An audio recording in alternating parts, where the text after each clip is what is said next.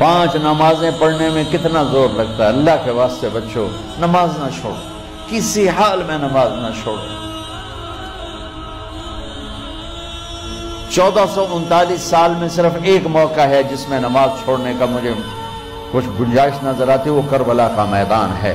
मेरे नबी के नवासे ने सर दे दिया, नमाज़ नहीं छोड़ी।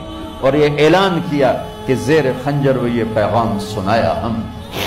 नमाज़ न छूटे, इस उम्मत की अल्लाह से अल्लाह से कुर्बत की सबसे बड़ी नेमत नमाज़ है। मेरे नबी ने फरमाया, जब आदमी सजदा करता है तो अल्लाह के कदमों में सर रखता है।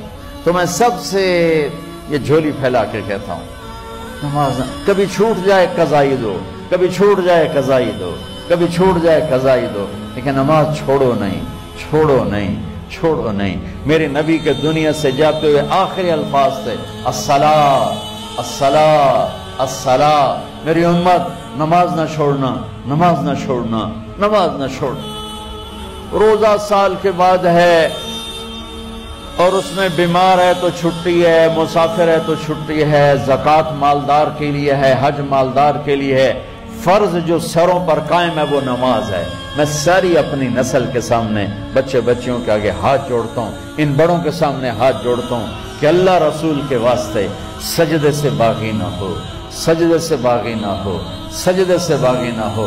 न कहीं जहाँ में अमा मिली, जो अमा मिली तो कहाँ मिली? मेरे जुर्म खाना खराब हो, तेरे अफ बंदा नवाज़ में, और कहीं जाए पना नहीं, सिवाय अल्लाह की बारगाह में सजदा करने से। तो मैं सबसे अपील करूँगा बच्चे बच्चियों से इस से, टीचरों से, प्रोफेसर से वीसी से, और सारे जितने भी अमला ये खड़ा हुआ है, पहरेदार खड़े हुए गार्ड हैं, अल्लाह रसूल के वास्ते ये कैमरा मैन है, नमाज़ ना छोड़ो, नमाज़ ना छोड़ो, नमाज़ ना छोड़ो।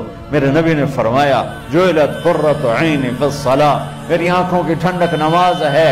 जन्नत में अगर किसी चीज़ की कमी महसूस होगी तो नमाज़ की कमी महसूस होगी। लेकिन ये बस यही है, ये नेमत। आगे फिर अल्लाह ताला एक सजदे की इजाज़त मांगेंगे। अल्लाह को देख कर तो लगेगा, नहीं, तुम मेहमान हो, मैं मेजबान